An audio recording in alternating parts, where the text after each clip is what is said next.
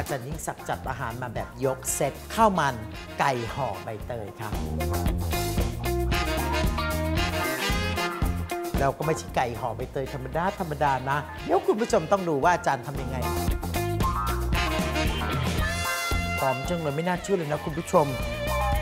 พบกับรายการคุกกิ้งกูรูและอาจารย์ยิ่งศักดิ์ได้ทุกวันอาทิตย์8โมงครึ่งทางอมรินทีวีช่อง 34 นะครับ